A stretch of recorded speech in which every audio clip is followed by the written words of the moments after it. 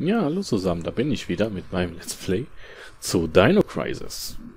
Ganz genau, liebe Leute, wir waren beim letzten Mal hier im Kontrollraum angekommen und ähm, genau, vor der ersten Entscheidung des Spiels. Ich habe euch beim letzten Mal schon gesagt, dass wir hier ähm, mit Gale weitermachen, weil Rick ähm, jeder macht. und äh, dann würde ich mal sagen, äh, machen wir mal Gale, Leute. Wir suchen Hinweise nach Dr. Kirk. Genau, Leute, wie gesagt, wir waren beim letzten Mal hier angekommen. Und der Gell, der hat im Untergeschoss was gesehen. Uh, die geile Mucke, Leute. Boah. Ich glaube, diese Musik ähm, hatten wir beim Rick. Aha. Hatten wir beim Rick nicht. Schalter betätigen. Aha, schaut mal da, Leute. Jetzt können wir es hier hoch machen. Geil. Schaut euch das an. Diese Musik haben wir nur, wenn wir mit Gale gehen. Oh, Hammer, Leute. So, jetzt kommen wir nämlich hier hinten hin. Und wir kommen runter. Tatsächlich, es geht in den Keller. Gang zur Krankenstation. Dann bin ich mal gespannt, wer denn wer hier ist. Ich habe meine Schrotpistole an. Ähm, haben wir da? Nee, okay. B1. Oh, hier liegt auch überall Blut. B1, was steht da? Kann ich leider nicht lesen, ist so verpixelt, Leute. Oh, eine Cutscene. Mini-Dinos. oh mein Gott. Ähm, die habe ich doch gar nicht ausgerüstet. Ich schieße einmal mit der Schrot drauf und dann sind die alle weg, glaube ich. Bam. dann sind die alle weg hier. Diese Mini-Viecher, ey. Oh man, ja. Nochmal draufballern und dann sind die alle weg. Mini-Dinos, ich glaube, das sind Kompis. Da lebt sogar noch ein Ding. ist ein bisschen übertrieben, ich weiß, aber schaut euch mal an, was der mit dem Rap was die mit dem Raptor hier gemacht haben. Oh. Da liegt sogar eine Medizin drin. Ach geil, Leute, das kann ich natürlich mixen. Mit Heilmittel. Jawoll. S++. Wusste ich gar nicht, dass hier eine Medizin äh, raus noch drinnen lag. okay, interessant. Blut sickert aus hunderten kleiner Bisswunden. Ach du Scheiße. Das sind schon kleine, kleine Biester hier, ne? Die Kompis. Komposagnus oder wie die heißen. Interessant. Gut. Gehen wir mal hier rein, Leute. Krankenstation. Genau, Leute. Wir sind nämlich jetzt in einem vollkommen neuen... Oh, es ist ein Safe-Raum. Es ist ein Safe-Raum.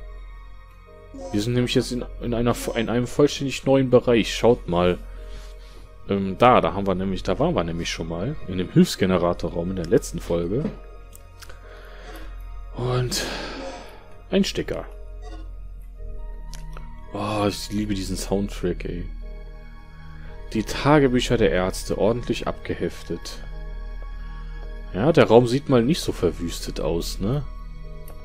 Was haben wir da an der Wand? Sieht sehr alt aus. Zeigt die Teile des Hirnstammes samt Nerven. Okay. Ein Computerterminal, von dem aus man Zugriff auf die Forschungsdatenbank hat. Sieht nicht hilfreich aus. Na gut. Okay, Forschungsdatenbank. Was haben wir hier? Oh, ich liebe diese Musik, Leute. Medizin. Och. Naja, ich meine, das darf man halt auf einer Krankenstation erwarten. Ne? Noch eine. ja, danke schön. Kann ich immer gut gebrauchen hier. Nix Hilfreiches. Aber da ist was Hilfreiches da. Eine ID-Karte. Leute, die Datenkarte kann neu beschrieben werden, wenn das Personal wechselt. Ganz genau, von dieser ID-Karte haben wir schon gehört. Gut, Leute, eine Notiz, die offenbar an den diensthabenden Arzt gerichtet ist. Müssen Sie sie lesen? Na klar. Dr. Sherwood, die ID-Karte auf dem Tisch gehört einem meiner Patienten. Bitte geben Sie sie an Oberst Clay, wenn Sie ihn sehen. Er sagte, er würde eine Konferenz im ersten Stock abhalten, um das heutige Experiment vorzubereiten. Bitte denken Sie daran, ihm die Karte zu geben, da er der Sache dort ja schließlich beiwohnen sollte. Erst das Obergeschoss. Da war doch diese eine Tür. Genau, Leute, schaut mal da. Diese eine Tür mit dem Militärsymbol drauf. Da können wir jetzt rein. Aber noch nicht, wir wollen erstmal Kirk finden. Was haben wir hier? Ein Mund? Eine Darstellung des Gaums und der Zähne. Was ist das hier?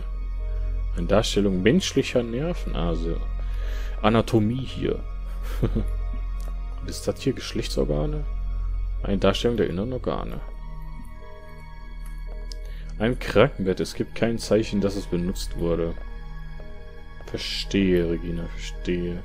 Sieht nicht... Was sieht nicht nützlich aus? Ja. So, was haben wir hier? Beide Notfallkoffer sind mit winzigen Schlössern versehen. Ja, da kommen wir später nochmal drauf zurück. Auf diese Notfallkoffer. Okay, ich glaube, da haben wir hier jetzt erstmal alles, oder? Was ist das hier? Ein Dokument? Nö. Nur die Tagebücher. Okay, Leute, dann würde ich sagen, verlassen wir diesen sicheren Raum. Bitte nicht abspeichern. Und dann gehen wir mal wieder raus. Und zack. Da ist es schon wieder. Hier schaut euch das an, das Ding, ey. Boah, das wurde schon übelst hingerichtet. Oha. Oha. Das sieht schon heftig aus. Na gut. Hier, ah, hier kamen die also raus, ja. Das Gitter vom Lüftungsschacht ist zerrissen und entfernt worden. Zerrissen? Wie kann man denn Gitter zerreißen? Einfach so... Ist doch kein Papier. Naja, gut. Leute, gehen wir in die nächste Tür.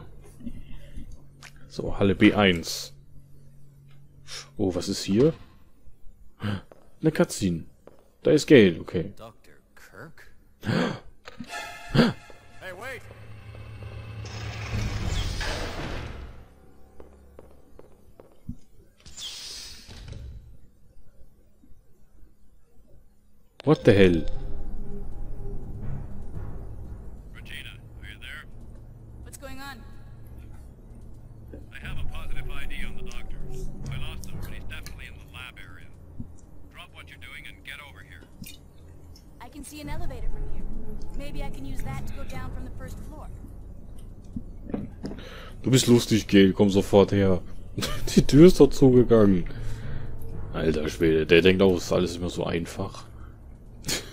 Wissenschaftler betätigen? Ja, geht nicht. oh, wir haben also Gail getroffen und wir haben Dr. Kirk gesehen. Oh mein Gott, er ist also blond. ja gut, haben wir auch in der ersten Cutscene gesehen. Was ist hier? Materialzugang. Wo sind wir denn hier? Ah, schaut mal da. Das, so ergibt das alles natürlich einen Sinn hier. Was ist das da? Oh. Da kommt was raus, oder? Oh ja, da kommt was raus. Ach du Scheiße. Okay, okay, okay, okay, okay. Danger, Danger. Und raus. Haha, Brutzel. Oh. Puh. Ich wusste, dass da was rauskommt. Brutzel, Brutzel, Dino. der hat aber eine andere Farbe, ne? Schaut euch den mal an. Der ist braunlich, bräunlich. Interessant. Der hat sich also gebrotzelt. Ein stabil aussehendes Gitter. Es ist mit enormer Kraft zerrissen worden. Ja, da sieht man mal, wie stark diese Dinger hier sind. Kam da wieder ein Jumpscare. oh Mann. So, Leute. Was haben wir hier? Eine Laserschranke. Okay, was haben wir hier? Ausführungsraum B1.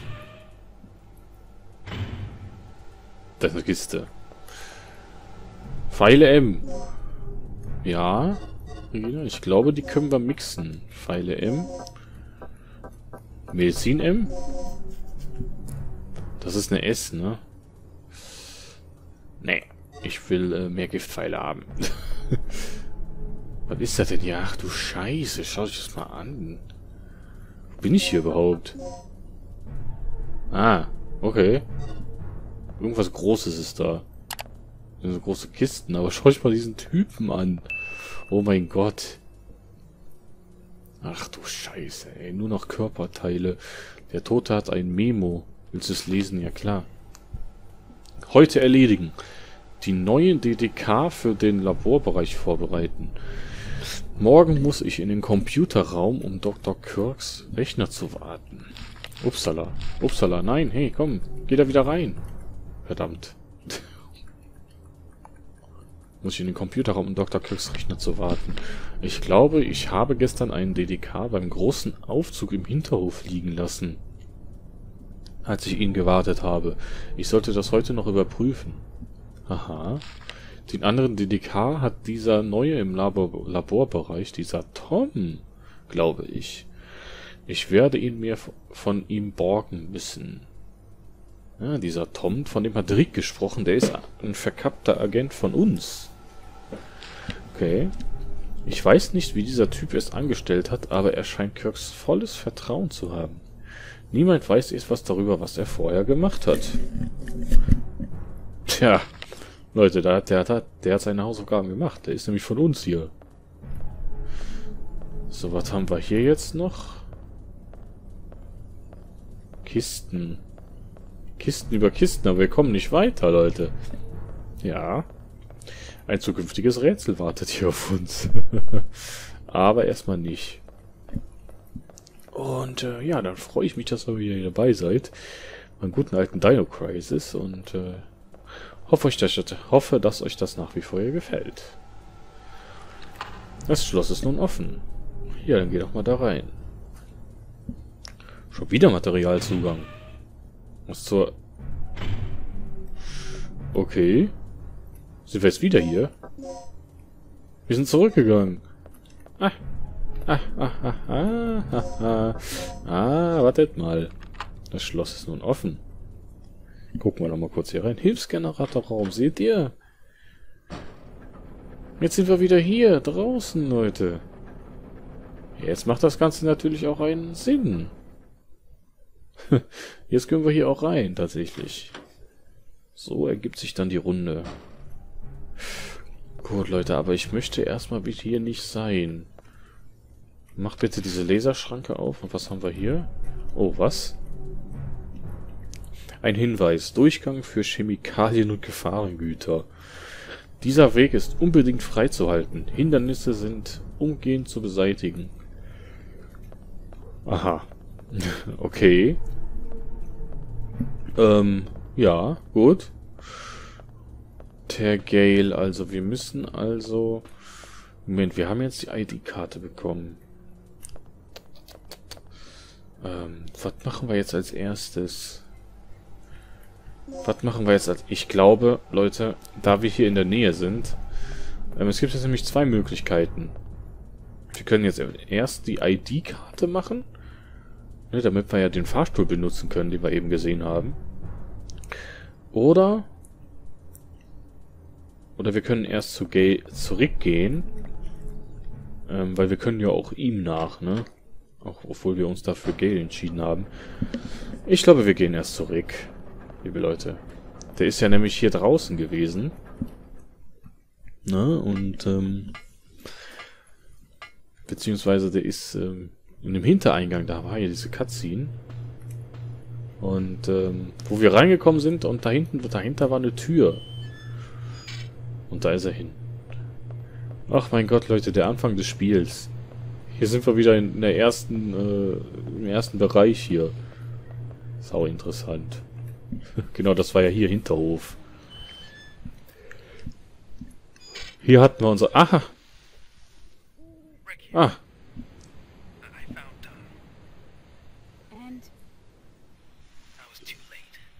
Na.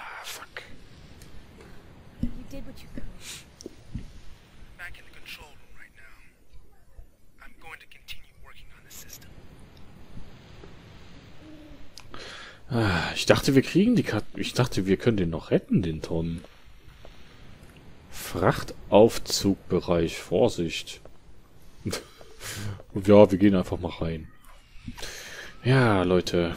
Dadurch, dass wir uns zum großen Fahrstuhl. Okay. Okay. Ja, Leute. Ähm. Oh! Haben wir genug Muni? Ah, soll ich jetzt meine Giftpfeile dafür verbraten? Ja! Leute, ich muss meine Giftpfeile dafür verbraten.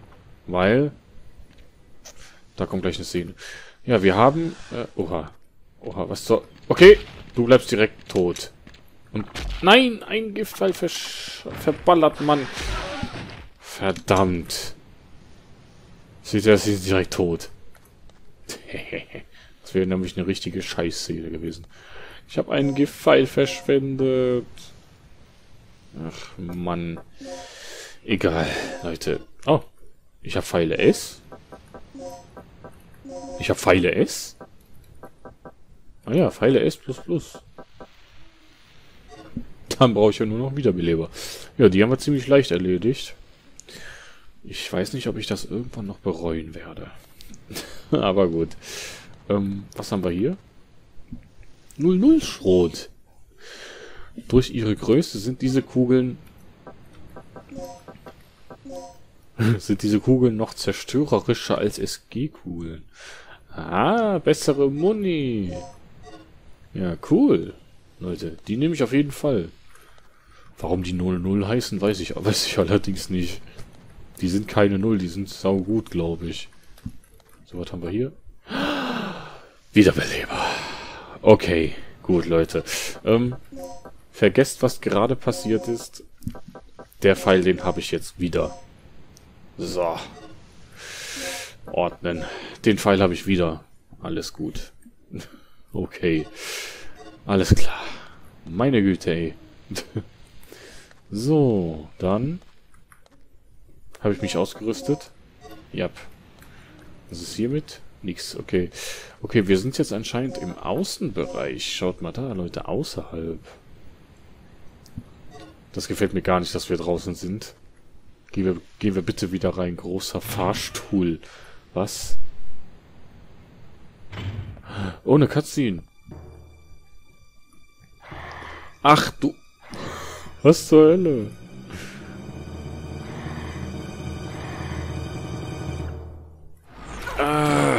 Pteranodons. Okay. Flugsaurier. Oh mein Gott, was es hier nicht alles gibt, ey. Okay, Danger. Danger, hau mich nicht dagegen, du blödes Ding. Okay. Flugsaurier. Ähm, der hat meine Waffe genommen. Der hat meine Waffe weggeschlagen, der Sack, ne? Okay. Ähm, ja, lauf, lauf. Hier laufst, läufst du.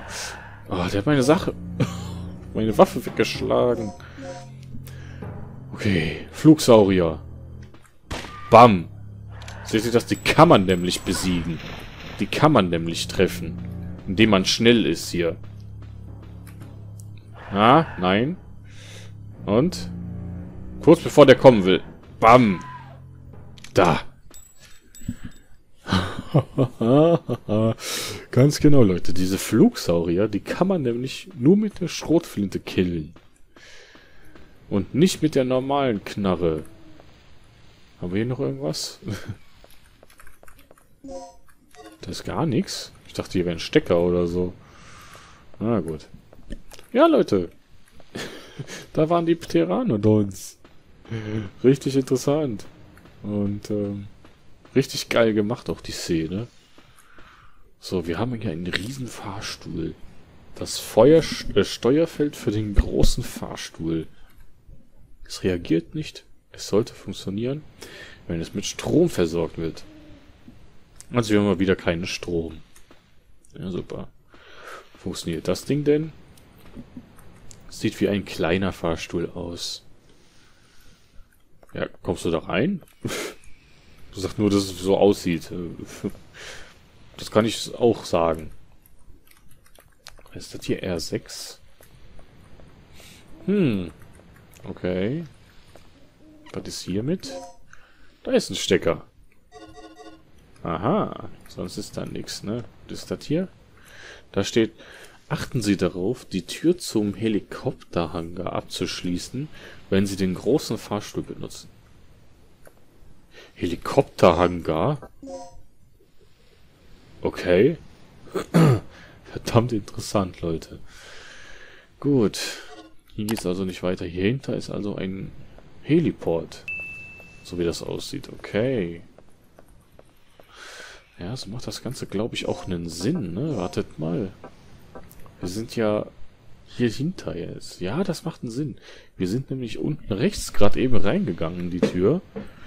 Und oben ist der andere Bereich außen. Da, wo die Tür auch zu ist zum Heliport. Das Ganze macht schon Sinn, ja, ja. Gut, gehen wir hier rein, Leute. Was haben wir denn hier? Steuerzentrale für großen Fahrstuhl. Boah. Ach du Scheiße. Eine Maschine, die zum eine Maschine zum Speichern der Daten, die in den Terminals verarbeitet wurden. Langweilig. Eine Eingabedisk L. Okay, Leute. Hier liegt Blut. Eine Maschine, die zum Speichern. Ja, okay. Gut, Leute. Ähm. Oh. Das war unsere Entscheidung, ne? Ja. Code Disk L. Tut mir leid, Tom. Die Leiche von Tom. Eines unserer Kameraden. Er hat viel Blut verloren, bevor er starb. Tut mir leid. Ich wollte euch doch nur mal einen anderen Weg zeigen. Ach, Tom. Wobei, den hätte man, glaube ich, eh nicht retten können. Der wäre so oder so gestorben. Gut, liebe Leute, Computer-Terminals zum Überwachen und Aufzeichnen der größeren Gerätschaften außerhalb der Einrichtung. Scheinen dazu benutzt zu werden, die Benutzung des großen Fahrstuhls sowie den Flugverkehr auf dem Heliport zu kontrollieren. Aha. Ein Heliport also. Ja, okay. Was ist das hier? Eine Tür. Wow. wow, Slide-Tür hier. Cool. Coole Tür. Was ist das? Die Außenbereichskarte hängt an der Wand. Ja klar. Eine Karte, Leute. Ja, seht ihr? Ähm, wir sind tatsächlich... Da oben ist nämlich der Heliport, das große Gebiet. Gibt alles einen Sinn, ja? Gibt alles einen Sinn. Okay. Aber hier, hier haben wir nichts mehr verloren. Private Sachen des Personals. Nichts von Nutzen. Echt nicht? Echt nicht, Regina? Gut. Dann müssen wir hier weiter. Alles klar. Gang zur Stromversorgung. Ach nö, nicht schon wieder die Teile. Ah. Oh, da ist eine Kiste. Ah. Ach, du Drecksack. Ah. Den habe ich getroffen. Ha. Guck mal, die guckt den, den, die guckt den sogar hinterher. Richtig cool. Was haben wir denn hier? Betäubung, ja, nimm die mal mit. Da ist noch einer. Ah, nicht getroffen. Ja? Ja, Regina? Alles gut mit dir? Der kurft da oben rum, ne? Ah, keine Muni mehr. Okay, nimm die 0-0. Und... Ach, verdammt, ey.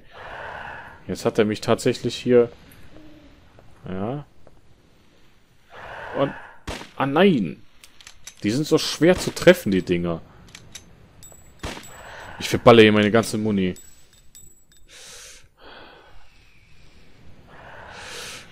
Und... Ah, verdammt. Ich will das Ding kriegen. Nimm eine S++. Ah, Leute, die sind so schwer zu töten. Ja.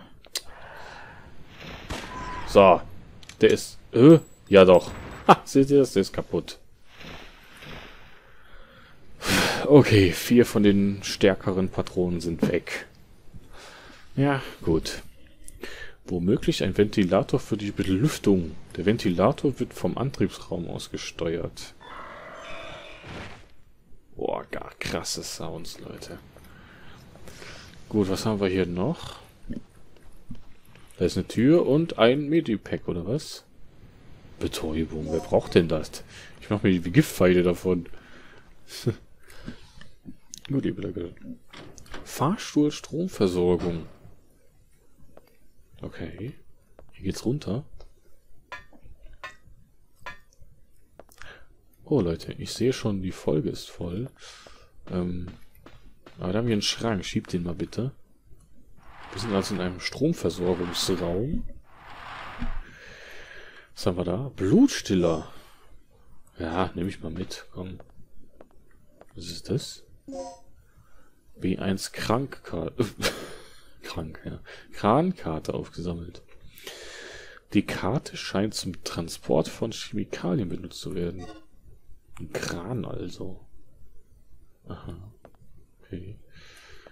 Und ähm, ihr seht hier. Was zur. Ihr seht hier, Leute. Das nächste Rätsel. Zum Strom einschalten für diesen riesigen Fahrstuhl da draußen, ne? Gut, liebe Leute, aber das würde ich sagen, machen wir beim nächsten Mal. Ähm, gut, dann würde ich sagen, wenn, ich, wenn euch diese Folge gefallen hat, dann lasst mir doch mal gerne mal ein Like oder Abo da und lasst die Glocke läuten. Würde ich mich sehr freuen. Und erzählt's ruhig weiter. und ähm, ja, dann würde ich sagen, wünsche ich euch noch einen schönen Abend oder schönen Tag. Ne? Tschüss. tschüss.